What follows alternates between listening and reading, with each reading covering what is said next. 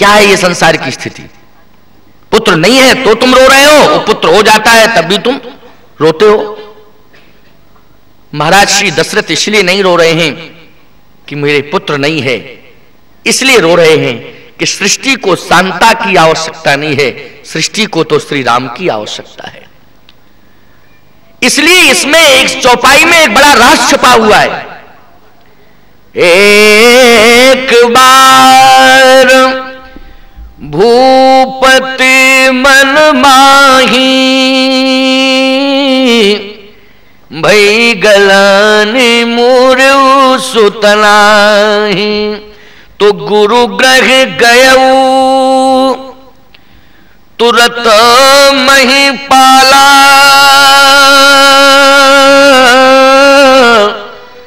चरण लाग कर विनय विशाला।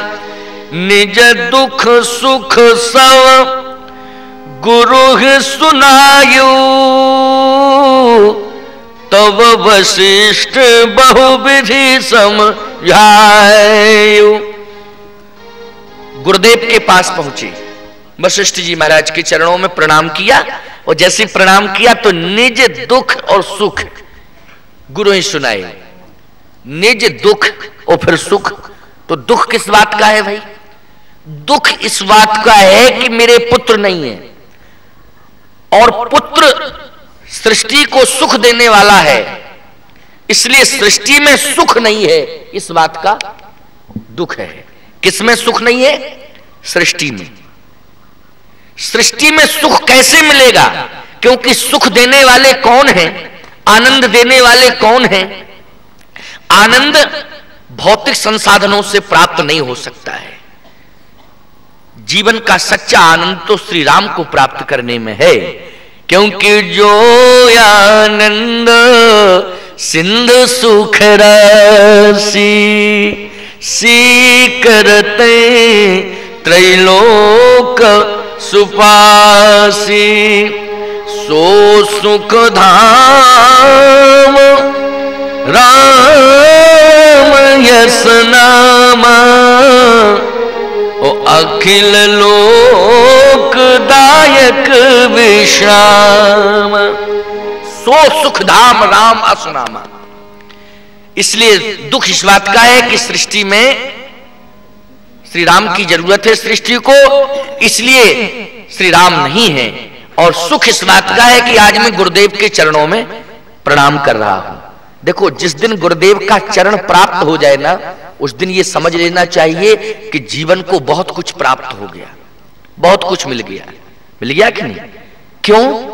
क्योंकि आचरण तुम अच्छा बना नहीं पा रहे हो। बहुत प्रयास कर रहे हो, लेकिन फिर भी आचरण तुम्हारा नहीं बन पा रहा है। लेकिन याद रखना, उदास होने की आवश्यकता नहीं है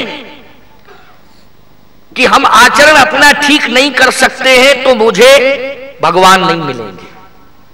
एक बात का ध्यान रखना, यदि तुम आचरण को स्वीकार नहीं कर पा रहे हो तो फिर एक ही उपाय है भगवान को प्राप्त करने का। अगर तुम आचरण से गिर गए हो तो गुरुदेव के चरणों को पकड़ लेना। भगवान की कृपा हो जाएगी, वो भगवान का दर्शन मिल जाएगा। क्योंकि गुरुदेव के चरणों की यही विशेषता है कि श्री गुरु पद नख मणिगण ज्योति सुमृत दिव्य दृष्टि ये होती। गुरु जी का चरण जिस दिन तुम पकड़ लोगे, उस दिन तुम्हारी दृष्टि का दृष्टिकोण बदल जाएगा, और जब दृष्टिकोण बदलेगा तो आचरण अवश्य ही सुधर जाएगा। सुधरेगा कि नहीं आचरण? क्योंकि दृष्टिकोण से ही तो आचरण बनता है और बिगड़ता है। इसलिए गुरुदेव के द्वारा रात्रि की सभा में मैंने कहा था कि भगवंत ने हमको दृष्टि दिया है, लेकिन संत सदगुरुदेव ने हमको दृष्टिकोण दिया है। समझ गए हो ना? इसलिए गुरुदेव के चरणों को अवश्य पकड़े रहना। मैं निवेदन करना चाहता हूँ आपसे कि महाराज श्री दशरथ ने जैसे प्रणाम किया तो वशिष्ठ जी ने कहा कि अच्छा अच्छा क्या इच्छा है? कहे महाराज, भाई गलान मोरी सुत नहीं सुत नहीं है। तो एक सुत प्राप्त करने के लिए गए थे, लेकिन वशिष्ठ जी महाराज ने तो ऐसा आशीर्वाद दे दिया कि धरहू धीर हुई। है सुत चारी त्रिभुवन विदित, भगति भयहारी। धरहू धीर हुई है सुत चारी त्रिभुवन विदित, भगति भयहारी। धरहू धीर हुई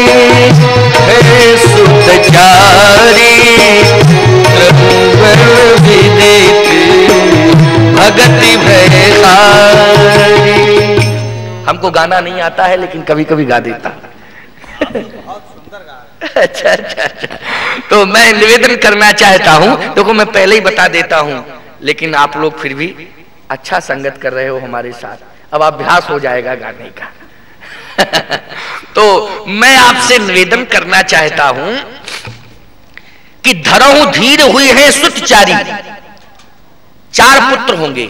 ये नहीं कहा कि दो होंगे। भाई, एक मांगा था तो दो के लिए कह देना चाहिए था कि चिंता मत करो, तुम एक की आशा लेके आए हो। मैं आशीर्वाद देता हूँ कि दो पुत्र होंगे। या ये कह देना चाहिए कि तीन पुत्र होंगे, ब्रह्मा, विष्णु, महेश जैसे। क्यों भाई? तीन होंगे। या ये कह देना चाहिए था कि पाँच होंगे, या छह होंगे, या ये कहना चाहिए था कि दस होंगे, या आठ होंगे। लेकिन चार का योग क्यों बिठाला गया? चार पुत्रों के लिए क्यों कहा गया? तो आप कहोगे चार की संख्या अच्छी होती है तो क्या दो की संख्या खराब होती है? लेकिन इसमें संख्या का क्रम नहीं है। इसमें क्रम इस प्रकार का है, एक संत का मत है। एक हमारे देश के बड़े विद्वान हुए हैं, इस समय वो नहीं है, साकेतवासी हो चुके हैं। उन्होंने कहा कि चार फल हैं ये, अर्थ, धर्म, काम और मोक्ष। लेकिन एक मैं मत देता हूँ, संतों का मत, क्योंकि विद्वानों के मत में और संतों के मत में अंतर होता है। इसलिए मैं हाँ हाँ। अच्छा भाई, अर्थ, धर्म, काम, मोक्ष, उनका ये मत है, मैं इस मत का स्वागत करता हूँ। लेकिन संतों का जो मत है कि ये चार क्या है? यह चार फल नहीं है। लेकिन किसी विद्वान के मत से फल हो सकते हैं? लेकिन संतों ने कहा कि हम लोगों के मत से तो ये चार सृष्टि की प्रमुख व्यवस्थाएँ हैं। ये अलग से भाव है, समझ लीजिए। सृष्टि की ये चार प्रमुख व्यवस्थाएँ हैं। याद रखना, अमेरिका का संतुलन अमेरिका का राष्ट्रपति नहीं बनाए बैठा है। भारत का संतुलन भारत का राष्ट्रपति और प्रधानमंत्री नहीं बनाए बैठा है। अगर प्रधानमंत्री और राष्ट्रपति के हाथ में भारत का संतुलन होता तो जम्मू कश्मीर में भूकंप नहीं आता, गुजरात में भूकंप नहीं आता। ये सरकार की बस की बात नहीं है। ना गुजरात सरकार व्यवस्था ये दे सकती है, ना उड़ीसा की सरकार दे सकती है, ना किसी प्रांत की सरकार दे सकती है, ना भारत सरकार दे सकती है। और अमेरिका खोपड़ी खराब कर ले अपनी। समझ रहे हो कि नहीं? लेकिन वह भी संतुलन नहीं बना सकता। आप कहोगे फिर तो याद रखना, सृष्टि के संतुलन के लिए किसी सरकार ने सृष्टि को चार प्रमुख व्यवस्थाएँ नहीं दी हैं। बल्कि सरकार नहीं देती है सृष्टि को व्यवस्था। सृष्टि को व्यवस्था अगर देता है तो संतों का आशीर्वाद देता है। इसलिए वशिष्ठ जी ने आशीर्वाद दे दिया। क्या आशीर्वाद दिया? धरहू धी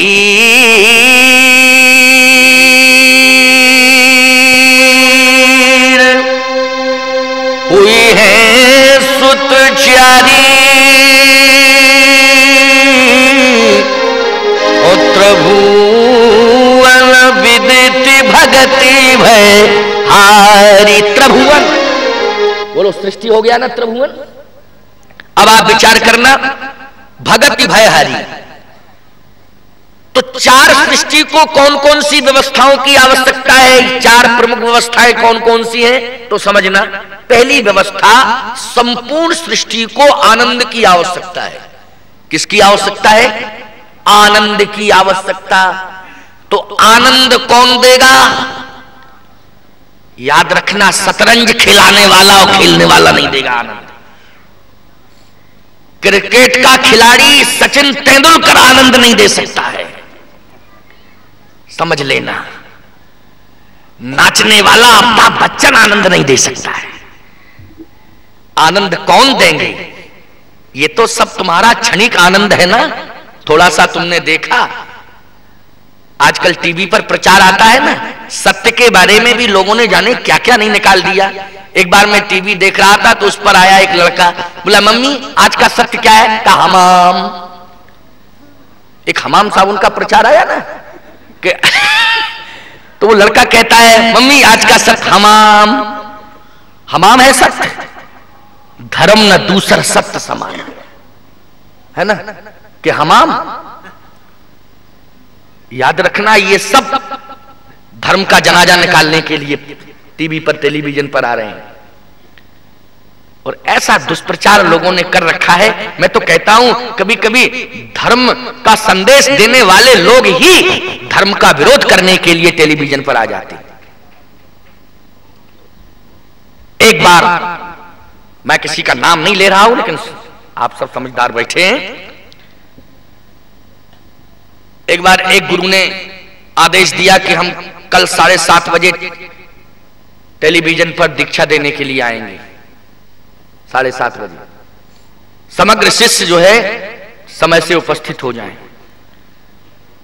और जैसे ही समस्त शिष्य इकट्ठे हुए, अपना पूजन की सामग्री लेकर के पहुँचे, और ठीक सात बज के एक मिनट पर गुरुदेव आ गए। उन्होंने कहा पवित्र हो जाइए पहले। सब शिष्यों ने उस विधि से अपने आप को पवित्र किया, क्योंकि बताने वाला तो कोई था नहीं। किसी ने यहाँ डाला जल तो किसी ने यहाँ डाला, किसी ने ऐसे ही डाल दिया। कौन बताने वाला है? कोई मार्गदर्शक है ही नहीं। अपने आप सब काम हो रहा है। बस कहा अब आप लोग तैयार हो जाइए। हाँ कान को टीवी के सामने करिए। और जैसे कान को टीवी के सामने शिष्यों ने किया, इतने में लाइट चली गई। अब गुरु चले गए और चेला अपने घर चले गए। और सारी पूजन की सामग्री वहीं नीचे गिर गई। बताइए, क्या है ये सब? यह सब धर्म के साथ खिलवाड़ हो रहा है। यह हमारे सनातन धर्म की परंपरा नहीं है। शिष्यों की संख्या बढ़ जाए तो क्या हम टेलीविज़न पर मंत्र देकर के ही शिष्यों की संख्या बढ़ा सकते हैं? याद रखना, अगर गुरु शिष्य को स्वीकार नहीं करता है तो इसकी चिंता शिष्य न करे।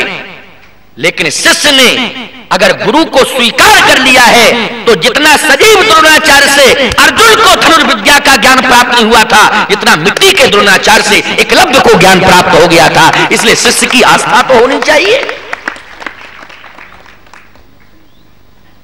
इसलिए धर्म के साथ खिलवाड़ नहीं होना चाहिए।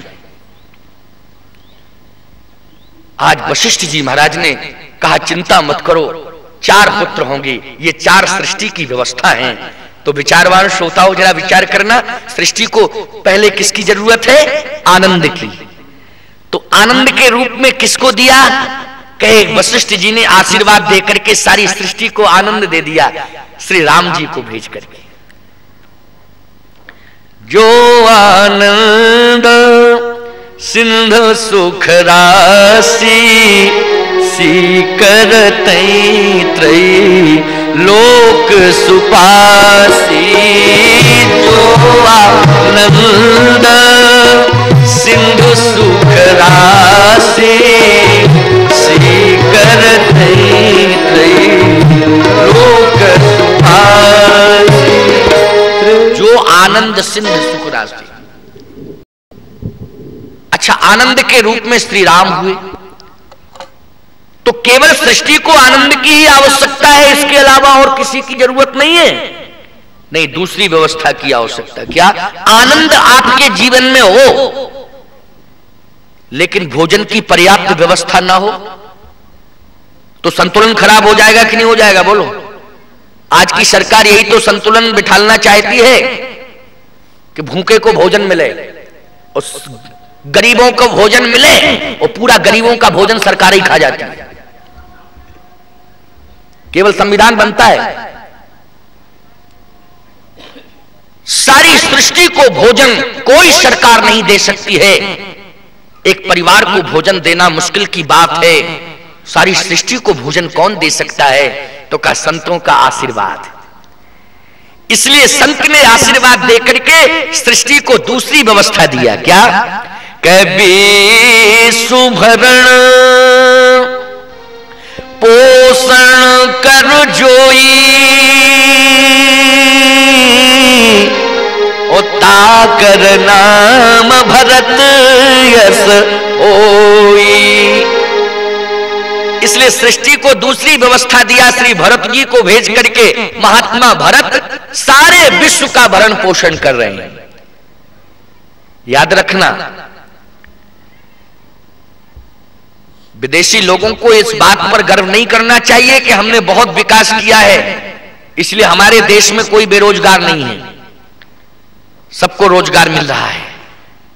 लेकिन याद रखना, अमेरिका में भी अकाल पड़ गया था। क्यों भाई, पड़ गया था क्यों ऐसा सुनने में आया था? अब सत्य या असत्य? सत्य बढ़ रही है ना? बढ़ रही है धीरे धीरे बढ़ेगी वो। यहाँ की घटेगी, वहाँ की बढ़ेगी। क्योंकि संतुलन तो बनाना है भाई। तो मैं आपसे निवेदन करना चाहता हूँ, वहाँ भी बेरोजगारी बढ़ रही है। तो याद रखना, सारे विश्व को भोजन देने की व्यवस्था किसके हाथ में है? भरत जी के हाथ में।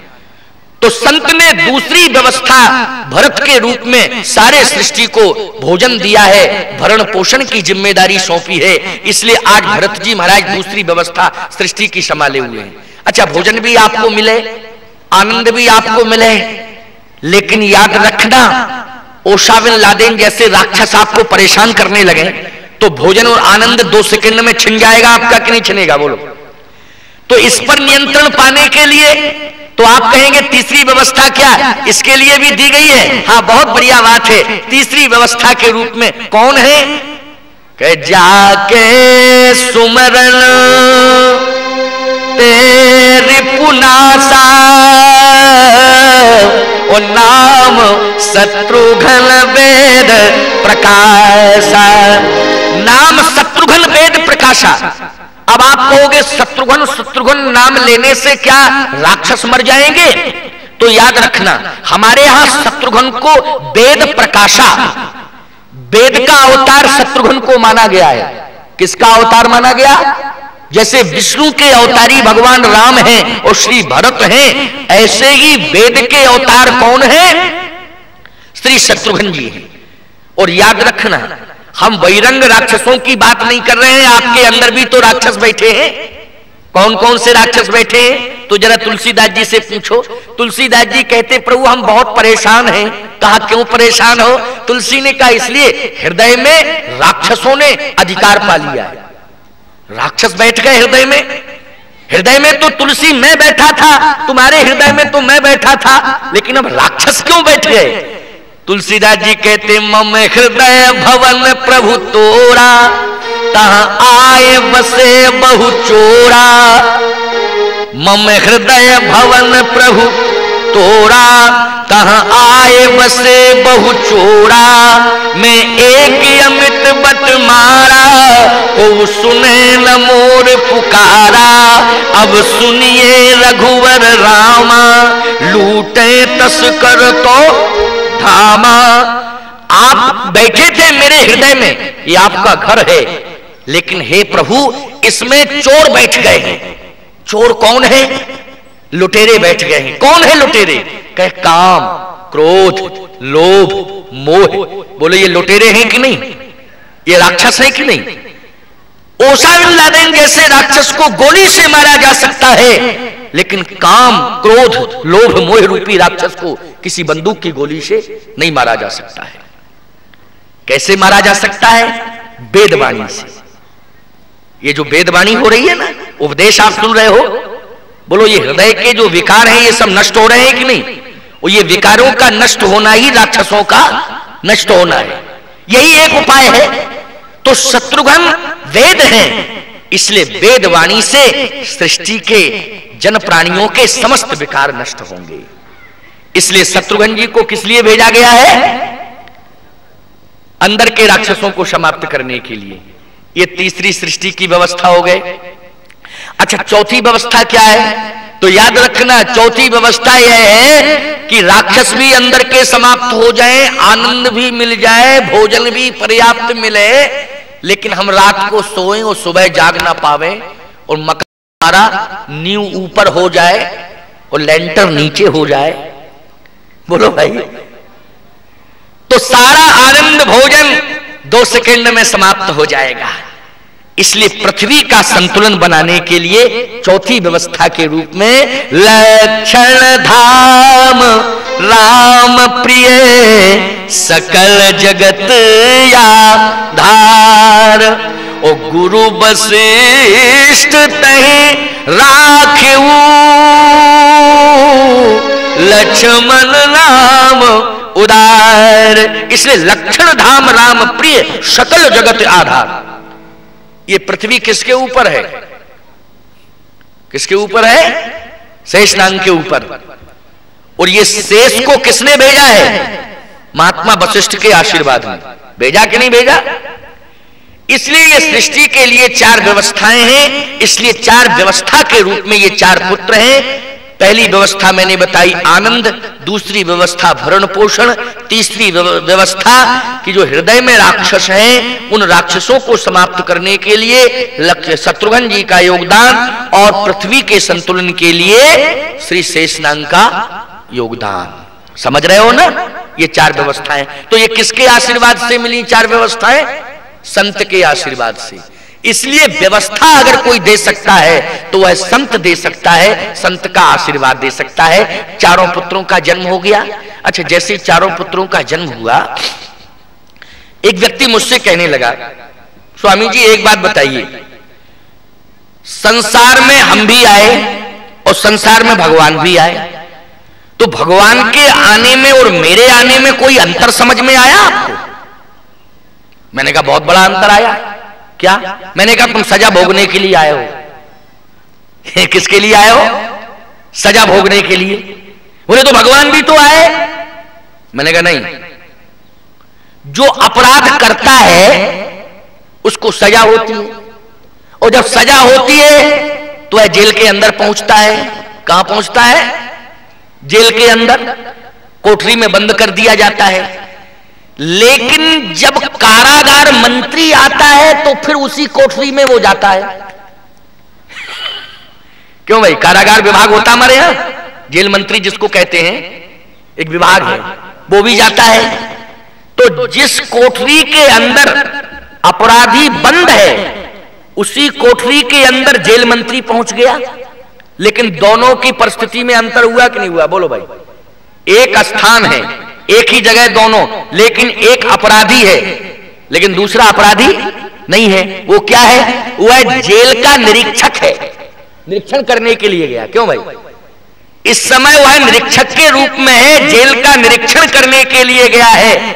और जिसने अपराध किया है, वो सजा भोगने के लिए गया है। तो मैंने कहा, जीव सजा भोगने के लिए संसार में आता है और परमात्मा संसार का निरीक्षण करने के लिए संसार में आता है। बस इतना ही अंतर। इसलिए परमात्मा किसके रूप में आता है? निरीक्षक के रूप में निरीक्षण करने के लिए आता है। इसलिए हम लोग ऐसा नहीं कह सकते हैं कि संसार में तो सब सजा भोगने के लिए आते हैं तो परमात्मा भी आया। नहीं। भगवान तो निरीक्षण करने के लिए आए हैं तो आज भगवान अयोध्या में आ जाते हैं। भगवान की पहली यात्रा अयोध्या से मिथिला की होती है। पहली यात्रा।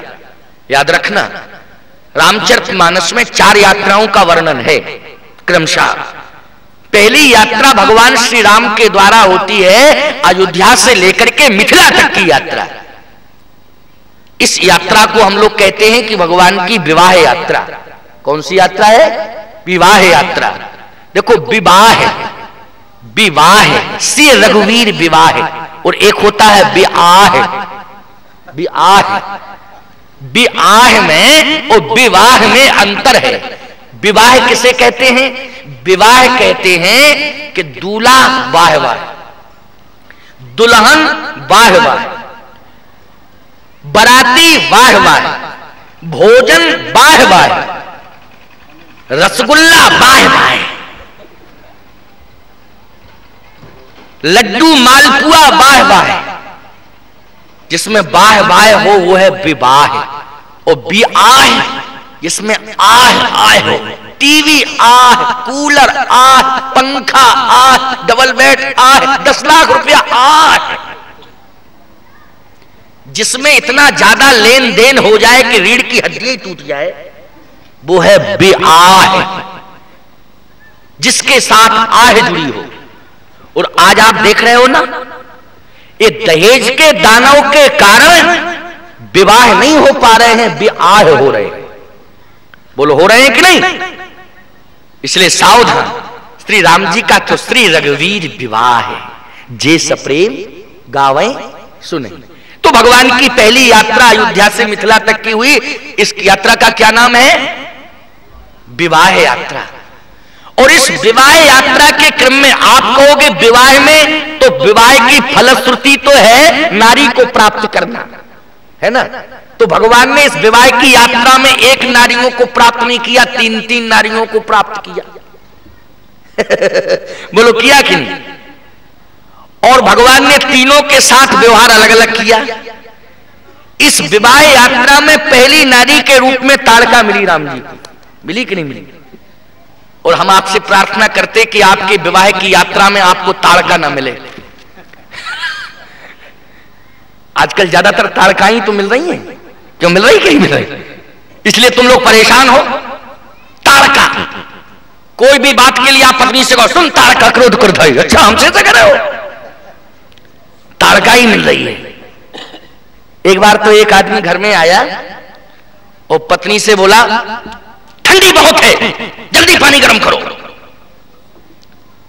पत्नियों बैठी चेयर पर। आँख से आँख मिला के देख रही है। तो कहता, सुनती नहीं हो? मैंने कह दिया, पानी गर्म करो, नहीं तो। पत्नी बोली, नहीं तो क्या करोगे? बोले, ठंडे से नहा लूँगा। ये है आदमी आजकल। तो ताड़का ही मिल रही है विवाह में। भगवान राम को भी पहले ताड़का ही मिली। लेकिन भगवान श्री राम ने तारका को देखा तो तारका का मरण किया। क्या किया? मरण। पहली यात्रा के पहले क्रम में ताड़का और दूसरे क्रम में अहिल्या और तीसरे क्रम में माता जानकी। क्यों भाई? और भगवान ने तीनों के साथ अलग अलग व्यवहार किया। क्या? ताड़का का मरण किया। और अहिल्या का तरण किया, और जानकी जी का वर्ण किया। ये तीनों अंतर भगवान ने किए किए कि नहीं किए। चले जात मुनि दीन दिखाई तो सुन तार का क्रोध कर धाई। एक प्राण हर लीना तो दीन जान तही निज पद दीना। भगवान ने उसका मरण किया। अहिल्या जब भगवान को मिली तो भगवान श्री राम ने देखा। कैसे देखा? बोले, पूछा मुनही। देखो, तारका को देख करके भी भगवान ने पूछा और अहिल्या को देख करके भी भगवान ने पूछा। जैसे तारका दौड़ी तो विश्वामित्र जी ने कहा, राम जी ने कहा, गुरुदेव, ये कौन? विश्वामित्र जी ने कहा, पहले मैंने बता दिया था ना कि तारका मिलेगी इस मार्ग में। दो मार्ग हमने बताए थे पहले, जब हम तिराहे पर खड़े हुए थे तो एक मार्ग तो अयोध्या की ओर गया था। और दो मार्ग हमारे आश्रम की ओर आए थे। तो उस तिराहे पर राम हमने तुमसे पहले ही कह दिया था कि ये जो मार्ग है, ये बड़ा छोटा मार्ग है। इस मार्ग से आश्रम में बहुत जल्दी पहुँचा जा सकता है, लेकिन यह संवेदनशील क्षेत्र है, अति संवेदनशील क्षेत्र। कहा क्यों? बोले, ये थोड़ा बिहार और झारखंड को क्रॉस कर रहा है, जिसमें नक्सली रह रहे हैं। ये अति संवेदनशील मार्ग है। है ना?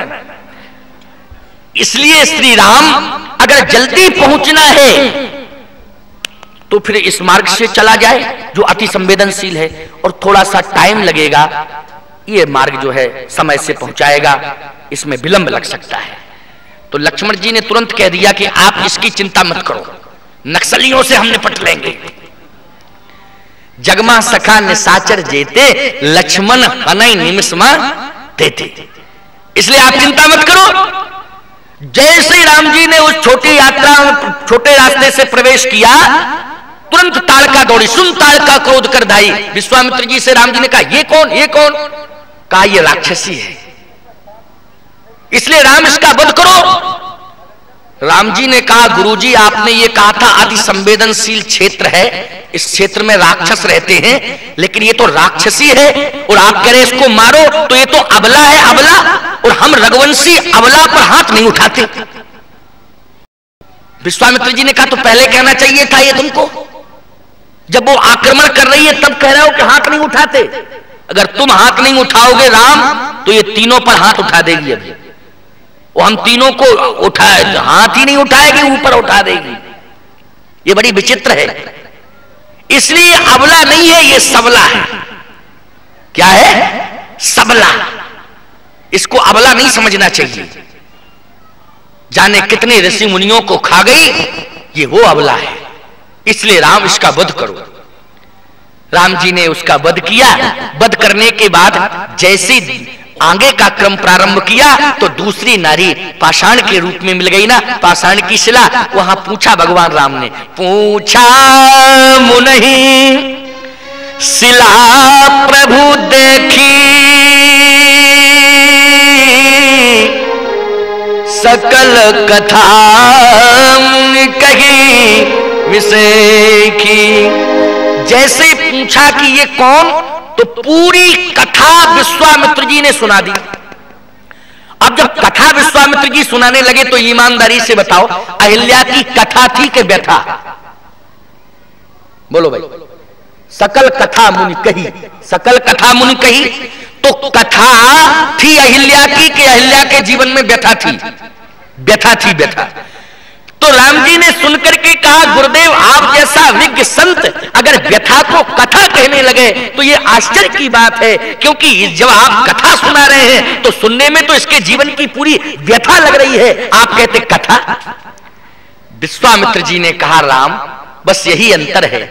इसके जीवन में व्यथा है, लेकिन आज इसकी कथा बन गई। कहा, क्यों? बोले, जिस जीव के बारे में कहने वाला महात्मा हो और सुनने वाला परमात्मा हो तो जिस जीव के जीवन की व्यथा को कहने वाला महात्मा होता है, और सुनने वाला परमात्मा होता है तो उस जीव की व्यथा व्यथा ना होके कथा हो जाती है। इसलिए रघुनंदन, आज ये कथा हो गई इसकी, क्योंकि कहने वाला महात्मा और सुनने वाला परमात्मा। बोलो, सुनने वाला कौन था? परमात्मा और कहने वाला कौन था? महात्मा अब व्यथा रहेगी कि कथा हो गई। कथा। इसलिए इसकी ये कथा है, गौतम नारी साप बस, उपल देही धर धीर और चरण कमल रज चाहती। अब तो कृपा करो रघुवीर। कृपा करो रघुवीर, अब इसके ऊपर आप कृपा करिए। भगवान ने कहा कि अब फिर समस्या सामने खड़ी हो गई। अबला को हम रघुवंशी कभी मारते नहीं हैं, लेकिन हम रघुवंशियों ने आपकी आज्ञा का पालन करते हुए उस अबिला का वध कर दिया। लेकिन अब आप कहते गौतम नारी शापवश, ये ऋषि पत्नी है और हम छत्री हैं। हम छत्री हैं और ये ऋषि पत्नी है। ईमानदारी के साथ बताओ। छत्री के चरण ब्राह्मण छूता है कि ब्राह्मण के चरण छत्री छूता है? बोलो। बोलो। हा। अरे आप लोग तो बड़े समझदार श्रोता हो। बहुत जल्दी जवाब दे देते हो और बड़े सुविज्ञ श्रोता मिले यहाँ। नहीं कहीं कहीं तो ऐसे श्रोता मिलते हैं कि माथा खराब हो जाता है। सुन के। एक जगह जो है, एक श्रोता बीच से खड़ा होके बोला, स्वामी जी, वर्णा नावर संगा नाम से लेके दहंतनो मानवा तक हम लोगों को रामायण याद है। एक एक श्रोता यहाँ पूरी रामायण याद किए बैठा है। हमने कहा, तब तो हम अच्छे श्रोताओं के बीच में आ गए। अब मैंने कहा, जरा इनका परीक्षण भी तो कर लू। तो मेरी आदत है कि मैं जब परीक्षण करता हूँ तो कह देता हूँ कभी कभी चौपाई भूल जाता हूँ, आप लोग याद दिला दिया करो। आप लोग याद दिला दिया करो। तो मैंने कहा कभी कभी मैं चौपाई भूल जाता हूँ तो तुम लोग सब पूरी रामायण याद किए बैठे हो एक एक श्रोता पूरी रामायण को पढ़ चुका है, याद किए बैठा है, इसलिए याद दिला दिया करो। चौपाई भूल जाते हैं तो कभी कभी नीचे से बोल दिया करो। कहे, बिल्कुल स्वामी जी आप तो बेफिक्र होके बोलिए। मैं मुस्कराया हल्का सा, और मैंने परीक्षण किया। तो मैं बोलते बोलते कह गया, मैंने कहा, सीता के बिलाप सुन भारी अब मैंने कहा, नीचे की अर्धाली नहीं उठ रही। बताओ श्रोताओ तो जो श्रोता खड़ा हुआ था, वही खड़ा हो गया। उसने कहा, नीचे की अर्धाली है मंगल भवन मंगल हारी। मैंने कहा, कहीं का ईट, कहीं का रोड़ा भानवती ने कुनवा जोड़ा। तो यहाँ का श्रोता मुझे बड़ा विज्ञ श्रोता लग रहा है, शांति से कथा सुन रहा है। भगवान की बहुत बड़ी कृपा। तो मैं निवेदन करना चाहता हूँ, भगवान श्री राम ने कहा, गुरुदेव, ये तो धर्म संकट पैदा कर दिया आपने, चरण कमल रज चाहती, कृपा करो रघुवीर। आपका चरण कमल ये चाहती है तो ये ऋषि पत्नी है ना? ऋषि पत्नी। अब ऋषि पत्नी विचार करना, भगवान श्री राम कहते हैं, मैं छत्री हूँ और ऋषि पत्नी के चरण छुड़ा दू, मेरा तो धर्म ही चला जाएगा। भगवान राम ने जैसे कहा तो संत देखो समाधान देते हैं। बहुत बढ़िया बात हम बताएँ, इसमें कितना बढ़िया समाधान निकाला। संतों के द्वारा तो समाधान मिलता है ना? तो समाधान कैसे मिला? अब देखो, समाधान लो, हमारी तरफ़ देखो। हमारी तरफ़ देखो। हमने तुम्हारी प्रशंसा कर दी तो तुम लोग उसमें डूब गए। हमारी तरफ़ देखो। क्या सुना रहा था मैं, बोलो। ऐसे काम नहीं चलेगा भाई। याद रखना पड़ेगा। माताएँ तो बहुत ध्यान से सुन रही हैं, बहुत ध्यान से सुन रही हैं। अच्छा क्या बोल रहे थे बताओ? हाँ देवियाँ उत्तर दे रही हैं, चरण कमल रज चाहती कृपा करो, रघुवीर। लेकिन समस्या यह है कि ये ऋषि पत्नी है, और मैं चरण छुआ दूँ। तो मेरा धर्म नष्ट हो जाएगा। और रामो विग्रहवान धर्म, राम साक्षात धर्म है। और धर्म क्या ये अधर्म कर सकता है बोलो? कि चरण छुआ देंगे राम जी तो राम जी कहते हमारा धर्म नष्ट हो जाएगा। विश्वामित्र जी महाराज ने कहा, राम जी, एक ही समाधान है। पहले तो आप हमारी आज्ञा का पालन करते हुए चरण छुआएँ। फिर कह, फिर मैं बताऊँगा ना उपाय? कहे, गुरुजी, ऐसा ना हो कि धर्म भी चला जाए और फिर उपाय भी ना बता पाओ। तो फिर बड़ी समस्या हो जाएगी। कह नहीं, राम, एक ही उपाय है। पहले तो तुम चरण छुआओ। अच्छा राम जी ने गुरु आज्ञा का पालन किया तो जैसे चरण छुलाया तो प्रकट हो गई पत्थर से। और जैसे ही प्रकट हुई तो प्रकट होकर के वह कहती है कि मेरा जीवन धन्य हो गया। चरणों का आश्रय पाकर के, चरण रज पाकर के मैं कृतार्थ हो गई तो भगवान ने अहिल्या से कहा कि अहिल्या, तुम्हें कैसा लग रहा है? तुम ऋषि पत्नी हो। मैं छत्री वंश अवतंश हूँ। मैंने चरण छुलाया क्या तुम्हें अपमान नहीं लगा? कहे, नहीं सरकार, मैं तो कृतार्थ हो गई। कहा, क्यों? कहे, विकल्प यही तो था। चरण रज से ही कल्याण हो सकता था मेरा, उद्धार हो सकता था। कहा, क्यों? कहा, रज से ही पतन हुआ था और रज से ही उत्थान होगा रज से पतन हुआ था। हाँ। तो फिर जिस रज से पतन हो सकता है अहिल्या, उस रज से उत्थान कैसे हो गया? अहिल्या ने कहा, सरकार, अंतर है रज में। कहा, क्यों? कहे, जब मेरा पतन हुआ था, वह रज काम से जुड़ी थी, लेकिन जिस रज से मेरा उत्थान हुआ है, वह राम से जुड़ी है। इसलिए राम से रज जुड़ चुकी है। इसलिए राम रज ने मेरा उत्थान किया है। राम रज ने मेरा उद्धार किया है। इसलिए मैं कृतार्थ हो गई हूँ। समझ रहे हो? बात समझ में आ रही ना? इसलिए मेरा उद्धार हो गया। मैं तो कृतार्थ हो गई हूँ, रघुनंदन राघव राम। जितने भी पत्थर थे, उस बन के वो पत्थर सब प्रसन्न हो गए। लक्ष्मण जी ने कहा, पत्थरों, तुम क्यों प्रसन्न हो रहे हो? क्या तुम भी चाहते हो कि हमें भी चुला दें? तो तुम सब इंसान बन जाओ। पत्थरों ने कहा, नहीं, हमें इंसान नहीं बनना है। कहा, क्यों? कहीं इंसान आपके काम नहीं आएगा, लेकिन पत्थर आपके काम आएँगे। ठीक है ना? ये पत्थर कहते हैं, हे राम, हमको इंसान नहीं बनना है, क्योंकि इंसान से अच्छा तो पत्थर होता है। किसी इंसान से पूछो, यहाँ से भुवनेश्वर कितना किलोमीटर? तो कहेगा, चले जाओ सीधे। जितना होगा उतना मिल जाएगा। लेकिन पत्थर कह देता है 330 किलोमीटर है। क्यों भाई?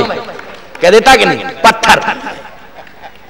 लेकिन इंसान कहता है, मुझे मालूम नहीं, चले जाइए चले जाइए, आगे बढ़ो आगे बढ़ो आगे बढ़ो। कितना आगे बढ़ेगा? बताने वाला जब बताएगा नहीं तो कितना आगे बढ़ेगा? हिमालय से टकरा के मर जाए? कि हिंद महासागर में डूब के मर जाए? बोलो भाई, आगे बढ़ने की भी एक हद होती है, लेकिन पत्थर कह देता है। क्यों भाई? इंसान को ढांढस बना देता कि नहीं बना देता? राहगीर को, कि 320 किलोमीटर है। और मनुष्य कहता, मुझे कुछ पता नहीं है, चले जाइए। इंसान से अच्छा पत्थर होता है। रोड के हर मील पर लिख देना, ये इबादत है। रोड के हर मील पर लिख देना ये इबादत है नापाक ज़िंदगी को मंजिल नहीं मिलती। इसलिए याद रखो पत्थरों से भी कुछ सीख लो तुम। पत्थरों ने कहा हमें इंसान नहीं बनना है। हम पत्थर ही ठीक है। तो प्रसन्न क्यों हो रहे हो? क्या चाहते हो?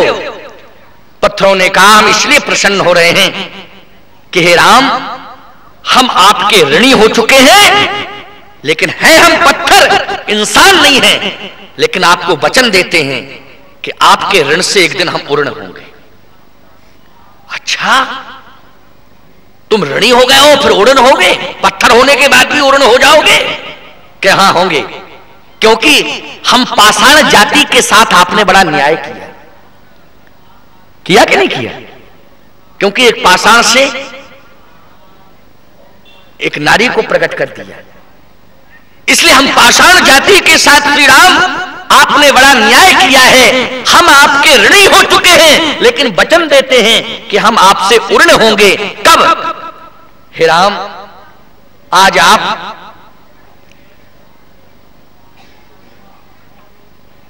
आज आप हमारे वन में पधारे और एक पाषाण का उद्धार कर दिया। लेकिन हे राम, हम आज आपको वचन देना चाहते हैं। हम पाषाण के ऊपर संकट था, इसलिए आपने संकट मोचन बन करके हम पाषाण का उद्धार कर दिया है। लेकिन श्री राम, जिस दिन आपके जीवन में संकट आएगा और जब आप अपनी पत्नी को खोजते खोजते समुद्र के किनारे पहुंचोगे तो पत्थर कभी पानी पर तैरता नहीं है। लेकिन हम पत्थरों को फेंक देना, हम तैर करके, पुल बन करके आपको समुद्र से इस पार से उस पार कर देंगे। बोलो। ये पत्थर श्री राम के ऋण से उर्ण हुए कि नहीं हुए? पत्थर कभी जल पर तैरते नहीं हैं। वो बात अलग है कि एक पर सीता दूसरे पर राम लिख दिया या राम दूसरे पर राम राम राम कह करके जोड़ दिया या सीता राम कह के जोड़ दिया। ये क्रम अलग है, लेकिन यह भी एक क्रम है कि पत्थर श्री राम के ऋण से उर्ण हो रहे हैं। आज अहिल्या का उद्धार किया, उद्धार तो हो गया। अब राम जी बोले गुरु जी अब हम क्या करें? बताओ, हम तो फंस गए। अब आप बताओ, हमारा उद्धार कैसे हो? विश्वामित्र जी बोले, अब राम हो जाएगा, चिंता क्यों करते हो? राम जी ने कहा, नहीं नहीं नहीं गुरु जी ये गड़बड़ बात है। अब आप हमारा उद्धार करिए। अच्छा इसी यात्रा के क्रम में अभी अयोध्या से भगवान जब तक अहिल्या का उद्धार नहीं किए थे तो प्रसन्न थे। हरस चले मुनिवृंद, यानी वो क्या है? मुनि भाई हरण। पुरुष सिंह दो वीर, हरस चले मुनि भाई हरण। हरस चले। हर्षित होकर के राम जी चल रहे थे। लेकिन जैसे ही भगवान श्री राम ने अहिल्या पर चरण चुलाया और आगे चले तो प्रसन्न नहीं। आप कहो कैसे? जैसे राम जी चले तो गंगा के तट पर पहुँचे। चले राम। लक्ष्मण मुनि संगा। तो गए जहाँ जग पावन गंगा। चले राम। पहले हरस चले मुनि भय हरण, लेकिन अब चले राम। लक्ष्मण मुनि संगा। कोई शब्द प्रसन्नता का तो नहीं जुड़ा इसमें। गए जहाँ जग पावन गंगा। तो कहे राम जी, प्रसन्न क्यों नहीं है? कहे, इसलिए प्रसन्न नहीं है, क्योंकि एक कार्य जो कर दिया ना, ऋषि पत्नी पर चरण रख दिया ना, प्रसन्न कैसे हो जाएँगे राम जी? फिर उद्धार कैसे होगा? तो याद रखो, अगर जीवन में, देखो, ऐसा मत सोचना कि भगवान से अपराध हो गया। भगवान खुद कह रहे हैं, इसलिए हम कह रहे हैं, कि मुझसे अपराध हो गया। यदि अपराध हो जाए तो प्राश्चित करने के लिए आप गंगा के तट पर पहुँचे, मंदाकिनी के तट पर पहुँचे या किसी तीर्थ में पहुँचे। कहाँ पहुँचे? तीर्थ में पहुँचे। तो राम जी कहाँ पहुँचे? गंगा के तट पर। गए जहाँ जग पावन गंगा गंगे तव दर्शनार्थ मुक्ति। गंगा का दर्शन करने से ही मुक्ति मिल जाती है। और आज गंगा का दर्शन करने के लिए ही नहीं पहुँचे भगवान, बल्कि गंगा में स्नान करने के लिए पहुँचे। और जैसे गंगा में स्नान करने के लिए पहुँचे तो प्राश्चित का एक सुंदर उपाय बताया विश्वामित्र जी ने क्या? कि वो तीर्थ में पहुँचे व्यक्ति, फिर गंगा में स्नान करे और ब्राह्मणों को दान दे। क्यों भाई? हो गया ना प्राश्चित? और राम जी ने यही किया। क्या किया? बोले चले राम लक्ष्मण मुनि संगा गए वो जहाँ जग पावन गंगा। चले वो राम लक्ष्मण मुनि संगा। गए वो जहाँ जग पावन गंगा।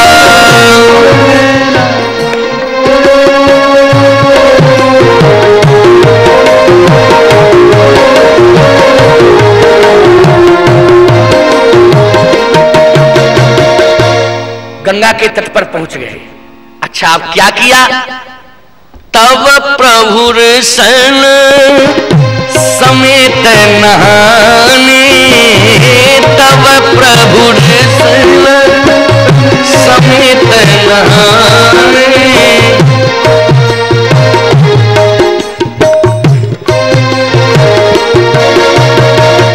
भगवान ने ऋषि के साथ स्नान किया गंगा में। अच्छा जैसे ऋषि के साथ स्नान किया तो स्नान हो गया, गंगा का दर्शन हो गया, तीर्थ का निवास हो गया।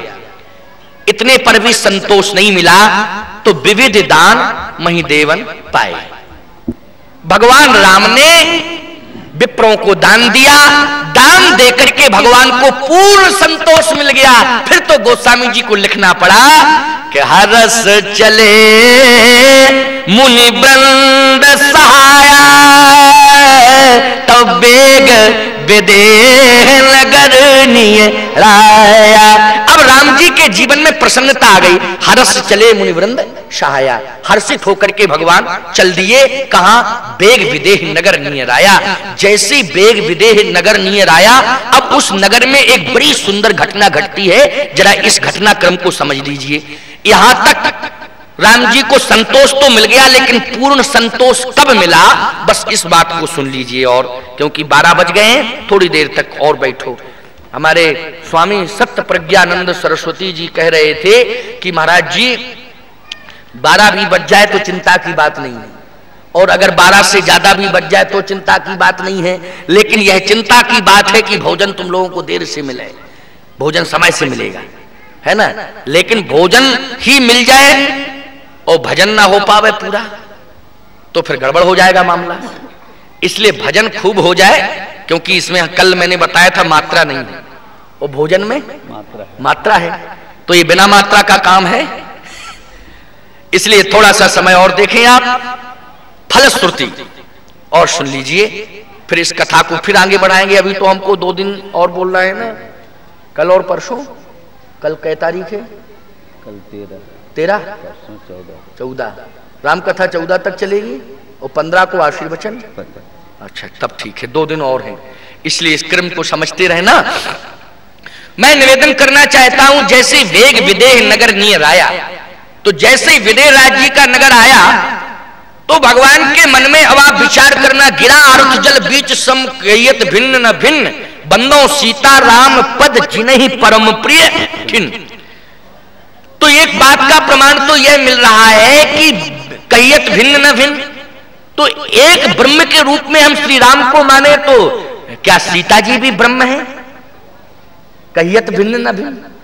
लेकिन समस्या यह है कि एक ब्रह्म बेटा बन के आया तो दूसरा ब्रह्म बेटी बन के आया। ब्रह्म एक ही है। वही ब्रह्म बेटा बन के कहाँ पहुँच गया? जनकपुर, अयोध्या में। और बेटी बन के कहा गया? जनकपुर में? तो एक जगह बेटी क्यों बना? तो एक जगह बेटा क्यों बना? कहियत भिन्न न भिन्न गिरा अर्थ जल बीच सम। इसलिए बन गया, क्योंकि जनक निष्काम कर्मयोगी है। और याद रखना, बेटी का बाप देना ही देना जानता है, लेना नहीं जानता है। समझ रहे हो कि नहीं? देना ही देना जानता ना? लेना नहीं जानता है एक गिलास पानी तक नहीं पीता है। समझ लेना। अगर वो असली बाप है, और यदि वो बाप नहीं है तो बेटी का पूरा धन खा जाता है। उसको हम बाप कहाँ से कह दें? क्यों भाई? जो बेटी का धन खा जाती है। याद रखना, बाप उसी को हम कह सकते हैं, बेटी का बाप, जो बेटी के यहाँ का एक गिलास पानी तक ना पिए। वो कहता है, महाराज, हमने खाया था तो दस रुपया दे तो दिया, एक थाली का हिसाब कर दिया। अरे, थाली के हिसाब से हिसाब चुकता हो जाएगा? ये समझ लो, सोच लो। देखो भाई, जहाँ तक तुम्हारा चल जाए तो चलाओ। नहीं, ऐसा मत कहना कि महाराज जी तो बड़ा धर्म संकट में डाल दिए। हम तो तीन चार साल से बेटिया का खा रहे थे। अब करें तो क्या करें? ये हमारी बात को स्वीकार कर लेना, ये मैं शास्त्र की बात कह रहा हूँ। तो मैं निवेदन करना चाहता हूँ कि बेटी का बाप देना ही देना जानता है। महाराज, श्री जनक निष्काम कर्मयोगी हैं, इसलिए वो लेना नहीं जानते हैं, वो तो देना ही देना जानते हैं। और महाराज, श्री दशरथ लेना भी जानते हैं और देना भी जानते हैं। क्यों भाई? लेने और देने की परंपरा महाराज श्री दशरथ के जीवन में है। वो लेना भी जानते हैं और देना भी जानते हैं। तो ब्रह्म ने निर्णय लिया कि ये लेना भी जानते हैं और देना भी जानते हैं। तो इनके साथ लेने का भी क्रम जुड़ा है। तो मैं इनके यहाँ बेटा बन जाऊँ, क्योंकि बेटे का बाप लेना ही लेना जानता है। और बेटी का बाप देना ही देना जानता है। इसलिए ब्रह्म जनकपुर में जनक जी के यहाँ बेटी बन गया और अयोध्या में वह ब्रह्म दशरथ के यहाँ बेटा बन गया। तो आज ब्रह्म ब्रह्म से मिलना चाहता है। लेकिन समस्या यह है, लोक मर्यादा में आप देखें, जरा विचार करें कि सामान्य व्यक्ति की बेटी भी बड़े इंतज़ाम के साथ घर के अंदर रहती है, आज के जमाने में। बोलो, रहती है कि नहीं रहती सामान्य बेटी भी घर के अंदर बहुत मर्यादित व्यवस्था में रहती है। फिर महाराज श्री जनक की, राजा की बेटी, क्या राम जी अगर चाहें कि हम मिथिला की गलियों में सीता जी से मिल लें तो मिल सकते हैं क्या? बोलो बुद्धिजीवी कभी नहीं मिल सकती। अच्छा समस्या ये कि मर्यादा पुरुषोत्तम भगवान राम है, बिना बुलाए किसी के घर में जा ही नहीं सकते हैं। बोलो भाई, अब समस्या अटक गई, करें तो क्या करें? अब भगवान राम ने शंकर जी का ध्यान किया। देखो, शंकर जी भी बड़े विचित्र हैं। जैसे ध्यान किया शंकर जी का तो शंकर जी प्रकट हो गए। शंकर जी ने कहा बताएँ सरकार, आज्ञा करें, कैसा याद किया? राम जी ने कहा, इसलिए याद किया कि तुम्हें याद होना चाहिए कि एक बार जब तुम्हारे ऊपर संकट आया तो मैं तुम्हारे कारण नारी बना था। क्यों भाई? तुम्हारे कारण में भगवान विष्णु ने मोहिनी का रूप बनाया था कि नहीं बनाया था? बोलो, कब बनाया था? भस्मासुर के प्रकरण में। समझ मंथन में भी बनाया था और उस समय भी। भस्मासुर के समय में भी वो सुंदरी बन करके आ गए थे। विश्व मोहिनी के रूप में। भगवान ने कई बार बनाया ना ये रूप। समुद्र मंथन में तो बनाया ही है। तो कहे एक बार में आपके कारण नारी बन करके आ गया था। आज आप मेरे कारण नारी बन जाएँ तो क्या दिक्कत है? बन सकते हैं? शंकर जी ने कहा, देखो, ऐसा है कि हम पुरुष हैं और अगर इस रूप को छोड़ के दूसरा रूप कोई पुरुष वाली ज़िम्मेदारी आप मुझे दे दो, ये महिलाओं वाली ज़िम्मेदारी हम नहीं संभाल सकते। भगवान राम ने कहा कि पुरुष बनने से काम नहीं चलेगा, महिला बनने से ही काम चलेगा। तो क्या बनना पड़ेगा मुझे? भगवान राम ने कहा कि आप चतुर सखी के रूप में पहुँच जाइए मिथिला में, चतुर सखी के रूप में। तो एक सखी और चतुर सखी जो बार बार वर्णन आता है, इसमें भगवान शंकर ही श्री राम जी का विवाह संपन्न कराने के लिए चतुर सखी के रूप में मिथिला में पहुँच गए। आप कहें, फिर हुआ क्या आगे? तो बड़ी विचित्र कथा है। कहे कि एक काम करो कि आप मिथिला में जब चतुर सखी के रूप में पहुँचे तो मैं यहाँ से जाऊँगा मिथिला दर्शन करने के लिए, नगर दर्शन करने के लिए। तो जब नगर दर्शन करने के लिए मैं पहुंचूँगा तो उस समय सीता जी से मेरी मुलाकात हो जाए, ऐसा प्रयास आपको करना है। देखो भाई, महिला प्रयास करना चाहे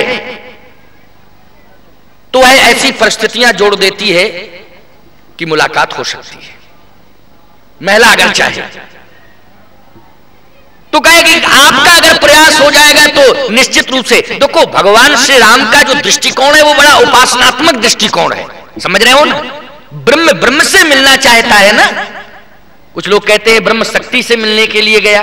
मैं तो कहता हूँ चाहे ब्रह्म शक्ति से मिलने गया हो या, या ब्रह्म ब्रह्म से मिलने गया हो लेकिन इस मुलाकात के क्रम में वरीयता किसको दी जाएगी? भगवान शंकर को। भगवान शंकर जैसे ही पहुँचे मिथिला में तो आप विचार करना इधर भगवान श्री राम ने गुरुजी से प्रार्थना किया। क्या प्रार्थना किया?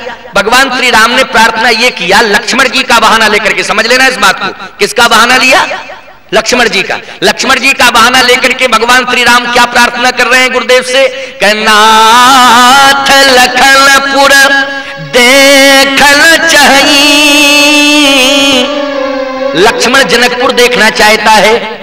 क्या लक्ष्मण अगर जनकपुर देखना चाहता है, लक्ष्मण हाँ गुरुदेव, नाथ लखनपुर देखन चाहिए विश्वामित्र जी बोले, राम जब लखनपुर देखन चाहिए तो काहे न कहीं। जब लक्ष्मण जनकपुर देखना चाहता है तो लक्ष्मण क्यों नहीं कह रहा है? तुम क्यों कह रहे राम जी कहते, प्रभु सकोच डर प्रगट करही। हमारे और आपके डर के मारे नहीं कह रहा, क्योंकि मैं बड़ा भाई हूँ, वो आप गुरुदेव है। छोटों के मन में बड़ों का भय रहता है। इसलिए आपके डर के मारे, मेरे डर के मारे नहीं कह पा रहा। विश्वामित्र जी ने कहा, बच्चों का कभी मनोबल नहीं गिराना चाहिए। दूर लक्ष्मण जी बैठे हुए थे। विश्वामित्र जी ने कहा, लक्ष्मण, इधर आओ। लक्ष्मण जी पास में आ गए। विश्वामित्र जी ने कहा, क्यों बेटा लक्ष्मण? जनकपुर देखना चाहते हो लक्ष्मण जी ने कहा, हमको क्या लेना देना जनकपुर से? हमारा कोई परिचय ही नहीं है जनकपुर में। हमको कोई मतलब ही नहीं जनकपुर से। और नहीं तरे रे राम राम जी ने देखा। राम जी ने कहा, लक्ष्मण, जब बड़े लोग आपस में बात कर रहे हो तो बीच में छोटों को नहीं बोलना चाहिए। लक्ष्मण जी ने कहा, सरकार तो आपको पहले कह देना चाहिए कि वस्तु स्थिति है क्या? मुझे कोई ज्ञान ही नहीं। विश्वामित्र जी ने कहा, राम, सच बताओ, लखनपुर देखना चाहिए अगर लक्ष्मण जनकपुर देखना चाहता है तो तुम क्या कहना चाहते मैं यही कहना चाहता हूँ जोड़ा आय सुमय पावो तो नगर दिखाए, तुरंत ले आओ। यदि आपकी आज्ञा मिल जाए तो मैं लक्ष्मण के साथ जनकपुर में चला जाऊँ और जनकपुर दिखा करके वापस ले आऊँ।